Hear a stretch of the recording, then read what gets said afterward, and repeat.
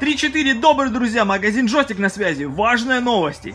Э, фирма Sony с 1 апреля, друзья, и это не шутка, меняет цены на игровые приставки Sony PlayStation в России.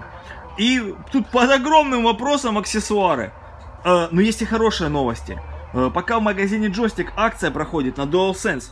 Друзья, 5000 рублей можно на сегодняшний день взять новый Ростест геймпад от Sony 5, который, кстати, компьютеру подходит.